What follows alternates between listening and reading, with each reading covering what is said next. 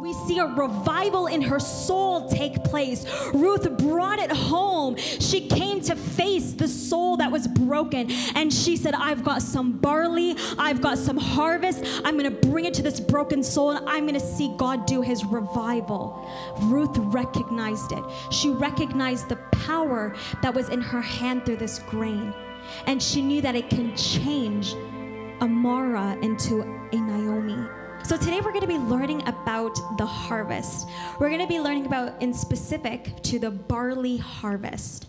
And this harvest is extremely important because it shows us two things. Number one, how we as bundles of barley participate in overcoming battles in this world and in the heavenlies, but it also shows us the responsible, the responsibility that we as these barleys, as these bundles of barleys have to winning souls. So I want you to pocket that in the back of your head as we dive deep into this revelation. So in Leviticus chapter 23 verse 1, the Israelites are instructed by the priest to bring the priest a sheaf of the first grain of the harvest. That's what they've been instructed to do. And you can read this in Leviticus chapter 23 and you read onwards. Israelites are instructed to bring to the priest a sheaf of the first grain, the harvest. And the grain that's being referred to here is barley. And the reason why it's barley is because this grain is actually the first to mature. And this maturity of barley is referenced in 1 Corinthians chapter 15 verse 23 as an application to Jesus Christ himself. So you might be wondering, what does this all mean? How are we going to tie these pieces together? And before we go into that, I want to kind of share a little bit of facts about barley for those of you who don't know. So barley actually is the first grain to ever mature. And barley is actually planted in December and it's harvested at. So because it's um, plowed out and it's planted in December, this time becomes staple food for all peoples, especially poor people. And barley, because it's planted in December, it can handle many weather conditions. It can handle harsh winters, it can handle cold, it can handle brutal to very gentle trickles of rain, it can handle hail Barley can withstand many, many crucial weather conditions.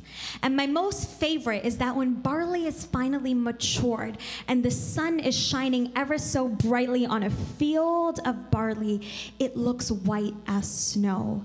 And this is referenced to by Jesus Christ in John chapter 4, verses 35. And that's really significant, and I want you to also keep that in mind. So, barley is extremely important in the vicinity of Bethlehem because small plots of barley were planted all over this town. And it was plowed by by hand, it was plowed by the poor peasant people. And this process is actually described in the book of Ruth.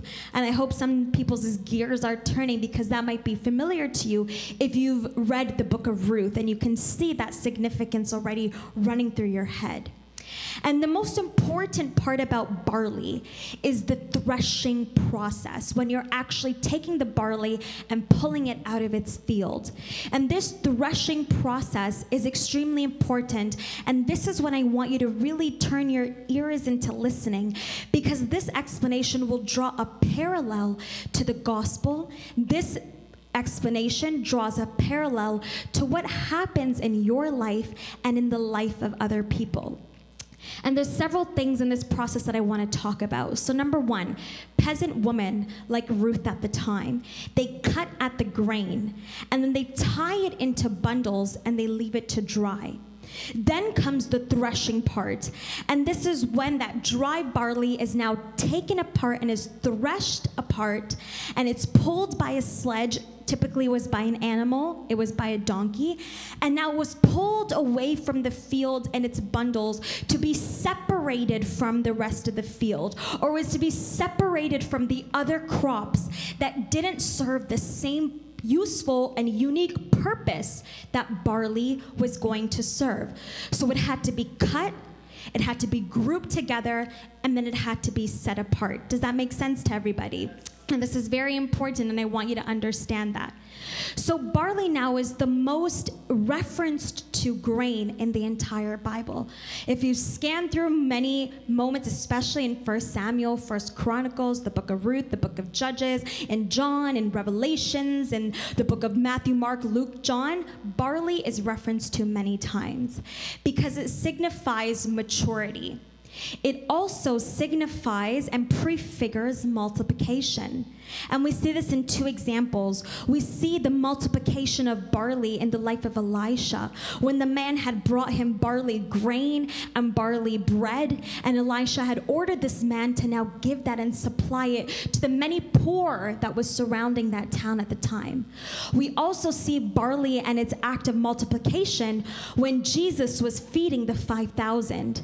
The boy brought the loaves of barley bread. So barley prefigures multiplication. Now, barley also signifies the overcomer, and this is extremely interesting. You see, the ripening of barley actually follows Passover. And you and I know that Passover signifies the death of Jesus Christ. And following that is the ripening of this barley, the resurrection of Jesus Christ, the offering of the first fruits. And you can read this in First Corinthians, where it talks about Jesus being the first fruit. So we see here this thematic cycle of the Passover, and now comes the offering of the first fruits. We go from death to life, from old to new. And barley represents this theme of overcoming, of becoming new. And if the barley sheaf was not ripe, then the people would not be allowed lawfully to recognize the Passover. So, unless the barley was eared out, unless it was ripe, Unless it was finally set apart, then only does it signify this newness. And we see that in the life of Jesus Christ and his resurrection. So, barley is extremely important as a spiritual significance to the life and to that, that newness and the gospel of Jesus Christ.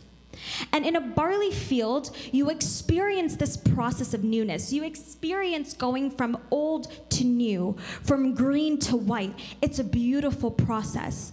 But at the same time, you experience and you encounter cleaning. You experience the removal of certain things. You experience being cut and being threshed through. And this process that takes place sometimes in a barley field may not always be so pretty. It may not always be so easy. Because remember, you're planted in December. Barley is planted through the harsh, harsh weather conditions, through the brutal cold, through the harsh snow, through the hail, through the ice. It's put through a lot of conditions. And these weather conditions actually symbolize and they draw a depiction of Satan and his powers that can occur in this world. So, those who remain planted in that field, those who are not moved by any weather condition, those who don't let a little bit of cold make themselves want to shrivel and run away, those who endure to the end, they get a reward. And we can see this in Matthew chapter 24, verses 9 to um, 13, if you want to turn with me. Matthew chapter 24, verses 9 to 13. And it says, Then you will be handed over to be persecuted. You're cut and you're plowed at. And you put to death, and you will be hated by all nations because of me. At that time, many will turn away from the faith and will betray and hate each other. It's a harsh weather condition, isn't that? When we're hated and we're persecuted and we're neglected and all that kind of stuff that comes in when we stand for God. It's harsh. That's a weather condition. And it says, many false prophets will appear and deceive many people because of the increase of wickedness. The love of most will grow cold. You'll shiver. It gets cold. There's not enough layers, not enough mittens, not enough hats that protect us from that cold, piercing hatred that we receive from people in these last days. But I love this. But the one who stands firm to the end will be saved. The one who stays in the field and allows God to keep plowing and harvesting in those conditions, they will be saved. And then it says the gospel of the kingdom will be preached in the whole world as a testimony to all nations, and then the end will come. You're in that field, and God works on you, and He plows at you, and He prepares you despite all those weather conditions, but you're saved. You pass the threshold, and you are now in bundles, and you are set apart for your unique purpose, your unique call for the world. And through that, you have been given the task to preach the gospel, to be a testimony, to be a witness to what had happened in that field. So it's very important that you, as someone who's planted and rooted in that harvest, understand the process and the aftermath that takes place when you are plowed out of that field. So, to the person who remains in the field, to the person who remains until they are fully ripe, you now graduate to a new level that is equal to of Jesus Christ, the first fruit. The one who will now take you as he ascends into heaven in his second coming. And we can see that in 1 Corinthians chapter 15, verses 22 to 23. And it says, For as in Adam all die, so in Christ all will be made alive. But each in turn Christ, the first fruits. Then when he comes, those who belong to him. Those who have stayed and remained in the field until fully ripe and set apart, when our first fruit comes back, your graduation occurs and you ascend into heaven with him. That is the reward for sticking through in the field. But that's just the beginning of it. I know that's the most incredible part, but in between that moment where we ascend with the first fruit, there's so much that takes place when you are part of that barley harvest. And the great news is that we are harvested while still in the flesh, while still in the husk of the grain, right? That's why in Romans chapter 5, verse 8, it says, When we were yet sinners, Christ died for us. So when we began our journey and our walk with God, don't forget that you were once a sinner, that you were once hidden in the darkness. You were once pursuing to gratify the desires of the flesh. But the reaper didn't give up on you. The reaper found you and he planted you in that field. And he knows you're a sinner. He knows you're so green, but he plows and he plows and he cleans and he cleans and he cuts and he puts you aside. He bundles you up together with other like minded people and He sets you apart until you are white as snow. And that is why understanding that ripe experience that we have in the field is more useful than we ever think. The reaper is God, the reaper is His salvation. First, He puts the sickle to us and He now creates a process where we are separated from our earthly sources of nourishment. We don't seek for those things that satisfy our flesh anymore. It's a deeper process. We want His Word, we want time in His presence, we want His anointing. And those are the nourishments that slowly start to change our color from green to white. He then establishes the church inside of us. He finds the like minded individuals and he causes us to stand upright instead of on our own and weak. A barley cannot stand on its own, the grain is not strong enough. Barley is grouped together. The reaper brings us together and he ties us up because he knows that a stalk of barley cannot stand upright on its own. So he ties us together to run that race that he has set for us to do, to be the last days church, to be the Philadelphia church, that in our little strength we can lean completely on him and we can thrive until the first fruit comes. So when we are brought to the threshing floor, this is now when we as the church, we as the Christian are now really truly established in this world. Because there's so many other things in this field, there's so many other crops, but God now groups us together and he threshes us and we are now plowed and we are taken separate away from the other crops. And He separates us so that we are protected from thieves that may come and steal from that field. But he also separates us that we can go out and be useful for what barley is useful for. It's useful for multiplication, it's useful for remembrance because once the barley is ripe, we can acknowledge Passover and celebrate resurrection. It's also made to be woven into priestly garments. Did you know that? The hem of the garment is made out of barley flax seeds. It's interesting. There are so many uses for barley, and that applies to you and me.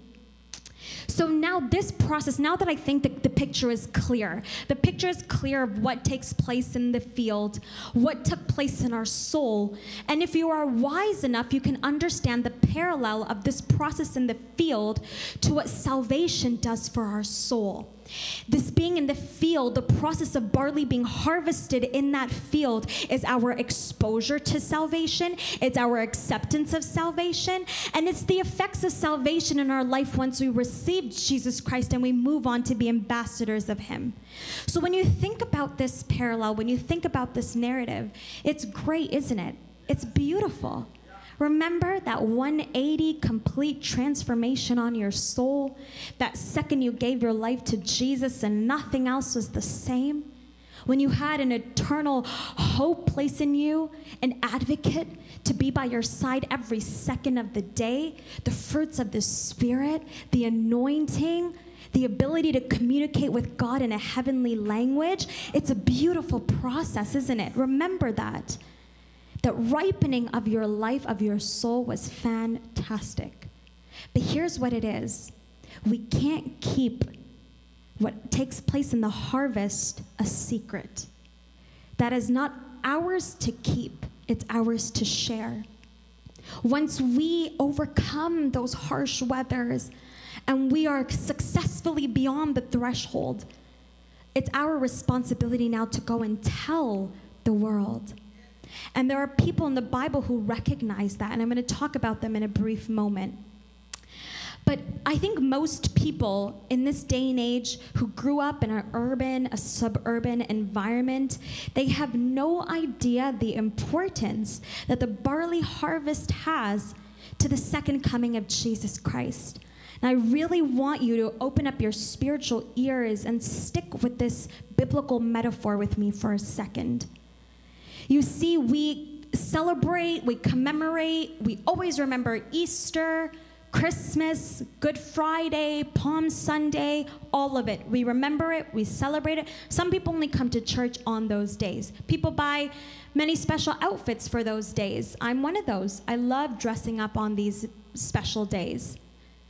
But the reason why Jesus was born the reason why he was sent, the reason why he died, the reason why he rose again was so that he could harvest the people of this world. It was more than just a tick in your calendar. It was to harvest this world. It was to be so much so that if we were to look out into the fields, it would all be white as snow. That's what Jesus said, and that's what Jesus wants to see. That's why the first fruit is representative of this complete harvest. And you and I, as bundles of barley, are responsible for harvesting. That means if he, the first fruit, will come soon, then I am placed rightfully in this harvest. Somewhere in the middle, I am placed in this harvest.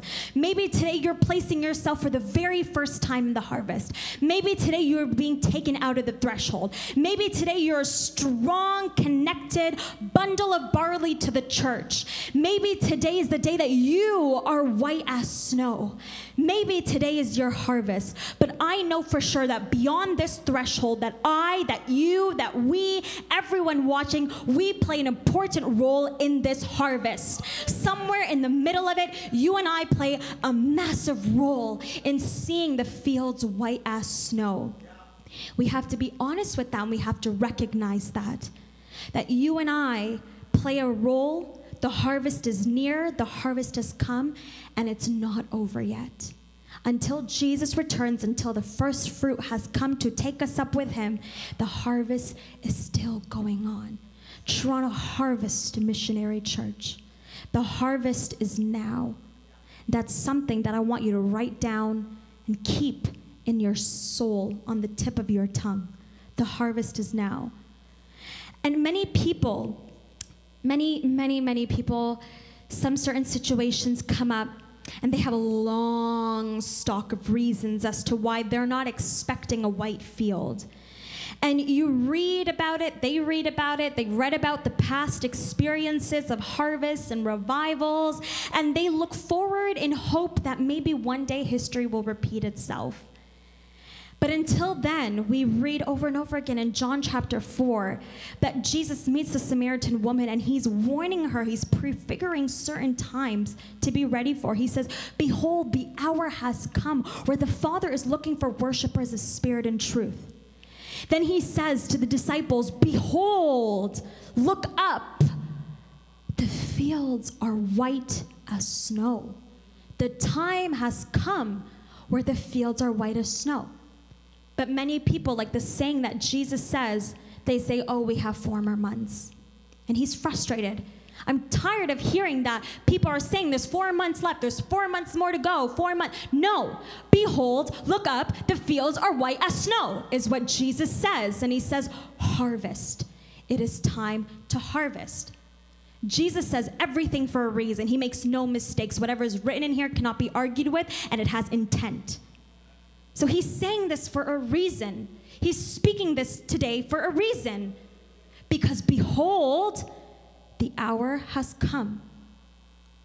But in response, many people say, there's still time. Four months more. The fields can wait. There's still some more time for me to go and harvest a soul. I'll just wait till I'm done my test. I'll wait till I'm done this shift. I'll wait till I'm out of this place. I'll wait till I'm done this assignment. I'll wait until he's done his food. I'll wait until my children are married. I'll wait until I get this job. I'll wait until I land and I nail this interview. I'll wait until I'm done this phone call. I'll wait until she's having a better day. I'll wait until I retire. I'll wait until they quit smoking. I'll wait until she quits drinking. I'll wait until they come back next month. I'll wait, I'll wait, I'll wait, I'll wait. I genuinely did not realize that we serve a God who plays a waiting game. That's false. Behold, look up, the fields are white as snow. The harvest is ripe. Every day, there's someone to harvest, even in your own home. As I'm speaking this, I know there's someone who's popping up in your head. That person that person who you know is lost, that person who you know is doomed for eternity because they don't know Jesus. That person that's popping up right now in your head as I speak. The harvest is now for you to speak the name of Jesus into their life and to give them that hope, to give them that love, to bound them in the cords that you are so opportunative to have and to be a part of. We don't keep that a secret that is not to be kept with us. But sometimes we're just so used to waiting on these body oriented signals for us to say, okay, now is the time. I'm not saying, like we had discussed last week, getting the job, finishing school, being a stellar student, that is absolutely incredibly important. I'm not undermining that. But we have to remember that we are souls, that our souls are important we are not bodies. We know that this decays. This tent is perishing. If you don't believe me, buy a mirror, go home, look hard into it, and see if what's staring back at you is what was staring at you two months ago. You don't look the same. You don't. But that soul, the soul you're thinking about today, what's happening to that? Place yourself in the harvest and bring those in with you. Behold, the fields are white as snow. That's why in Mark chapter 8, verses 36 and 37, I love this that Jesus says. What good is it for someone to gain the whole world yet forfeit their soul? Or what can anyone give in exchange for their soul? If anyone is ashamed of me and my words in this adulterous and sinful generation, the Son of Man will be ashamed of them when he comes in his Father's glory with the holy angels. It's the truth. When we sit there and we wait until we think the month is ready, we're denying and we're, we're ashamed. You deny that ripening process that happened in your life. And one day, when the first fruit is now coming down, he'll be ashamed in the presence of the Father's glory. I don't think any of us here who love the Lord with all our heart, our soul, and mind ever want to be ashamed by God. That's just not what we're called and destined to be. We, as bundles of barley, are being called to be concerned over people's uh, soul. So don't neglect it and don't keep it a secret. And an example of this can be seen in the life of Gideon and in Ruth. Now, Judges chapter 6 and 7 are extremely important, must read chapters of the Bible for you who are the newly called or for you who, who is ripe. These two chapters of the Bible are extremely important and they're very interesting. In chapter 6, Gideon, the farmer, has just been tapped by God as the mighty man of valor. And this man of valor, this mighty man, is the one who's going to save Israel at this point. And interesting enough, I see an incredible parallel to the life of Ruth, similar to that of the process that takes place in the barley harvest. Ruth was once a foreigner. She was once just like us, an alien, a foreigner, someone new, someone lost that's just been placed in the field green as ever. That was what Ruth's condition was. But Ruth, she stuck in the field like us. She planted herself in there and she kept harvesting and harvesting and harvesting. And then she becomes cultivated in this harvest. And then she claims God as her God. She takes what seemed like once an impossible character and now she makes it into a reality because God takes the old and he takes the broken and he brings out a new mighty character. That is when we are made white like snow. So, this character, Ruth, she gives herself in the field. She gives herself completely to God. She's infamous for her lines where she looks at Naomi and she says, Where you go, I go. Your God is my God. From that moment, she committed herself to the job, to the task, the assignment, to the role, to the character, to the call, to the kingdom of God. That second of the confession. So Ruth finds herself now making a living in this barley field. She's specifically placed in a barley field. Isn't that interesting? I don't know how many of you have noticed that, or maybe you read past it, but it's a barley field that she was placed in, and now she's harvesting. And now, this rich and this well known and this incredible man named Boaz, he comes and he recognizes this woman, this noble character. And he says, I have seen all that you've done. I've seen you withstand the harsh and brutal weather conditions. I've seen you take up this new character. When you were once alone and you felt like an alien and you were persecuted and you were empty, I've seen it. And you remained in the field and you harvested. And in that moment, I realized that you left your homeland, you left all that you were, and you followed and pursued your mother in law to live with people that you had no idea about. And now Ruth at that moment is commemorated for being a noble woman. Everyone in the town is seeing her as something so different from anything else that has come in that town before. And to be called a noble woman at that time was very, very rare. A noble woman is actually the term chayil in Hebrew. And that term is not just thrown around to anyone. Ruth was the only one given the name Chayil, a woman of valor. Besides Gideon, she's the only woman given that title. That's how rare it was. So, this woman of valor, a mighty, worthy person, who's taking the great courage to go out into battle and take on an assignment that she knows she can't do on her own. She accomplishes it. She plants herself in the harvest and she keeps going and she keeps going and she keeps plowing and she keeps doing what she knows that she's called to do. She accomplishes that task and she's given the title, You are a mighty woman of valor. So incredible, so inspiring. So both Ruth and Gideon are now referred to as a people of valor a people who are brave, a people who keep praying, a people who keep harvesting, a noble character that is rare. Only rare people can get through those persecutions. Only people that recognize the task that's in front of them that is of grave importance to the Father in heaven who set it apart before them. And Ruth and Gideon recognize that. That's why I look up to them. And I hope you do too. And at this time now, when Gideon is being tapped by God and he's given this assignment, his view of God was so limited. And he was so, in that moment, discouraged, and he keeps calling himself weak. He keeps calling himself the lesser than. He's not acknowledging in that moment the power that God is going to give him. When he starts off, he starts off weak and timid. But then God promises to be with him. He assures him that he's going to win Israel's victory.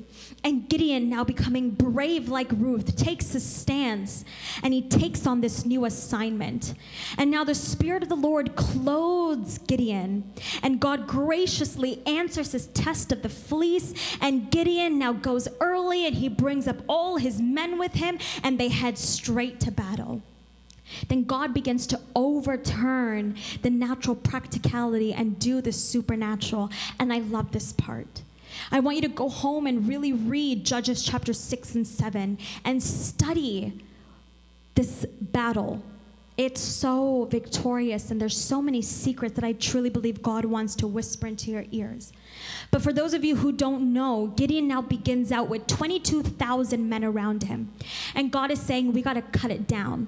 Because if there's so many people, they're going to just say, we won because of our own strength. Because we're so high and mighty in power, we did it ourselves. But we know God. And we know that we serve a God who deserves all glory. It's not for self glory, it's not self righteousness, but it's the power and the Spirit of God. So God recognizes this and He says, before they can even open their mouth and defile what I'm about to do for them, I got to cut them down.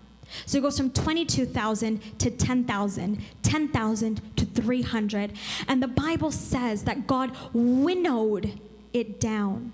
For those of you who don't know the term winnow, it means to blow a current of air through grain in order to remove the chaff.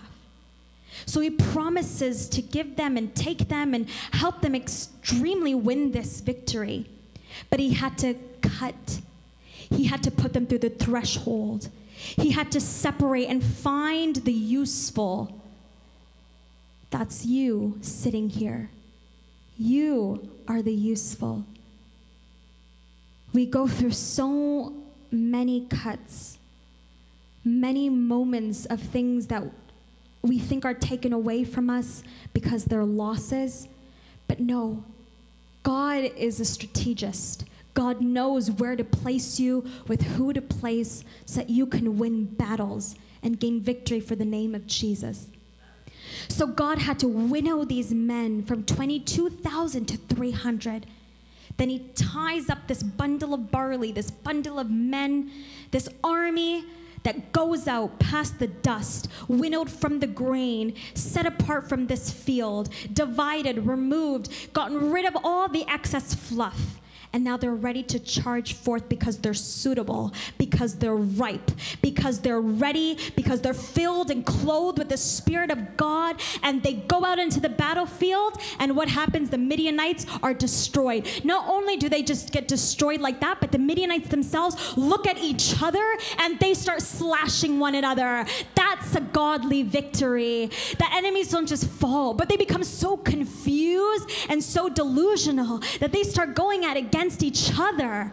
Can you imagine getting those 300 men? They didn't have to do anything. They're ready, they're armed, they give themselves to God, and before they can even draw their sword, the enemies just did the job for them.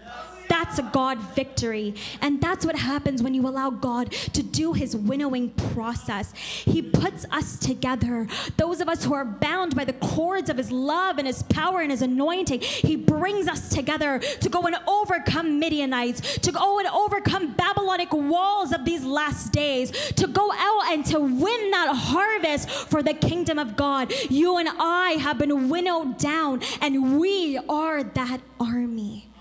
Isn't that incredible, church? I love that revelation. And Ruth, she's someone who understood it the same way, and she did not keep it a secret. She was tired, she was exhausted, but she's gleaning away the barley, and she is harvesting and harvesting and harvesting. Now, I want to give you a little background now. So, Naomi, her mother in law, she's not as strong as Ruth is. She actually starts to call herself Mara. And Mara means the one who has been disregarded by the Almighty God. She changed her own name. Naomi's discouraged. How many of you know a discouraged person? How many of you right now can think about a lost person? How many of you can think about a sick person? How many can think about someone who's drowning in sin right now? Yeah, there's a lot of Maras in our life, aren't there? And Ruth recognized that. There was a Mara in her life. So she's tired, but she goes as a happy gleaner and she returns to her home that evening.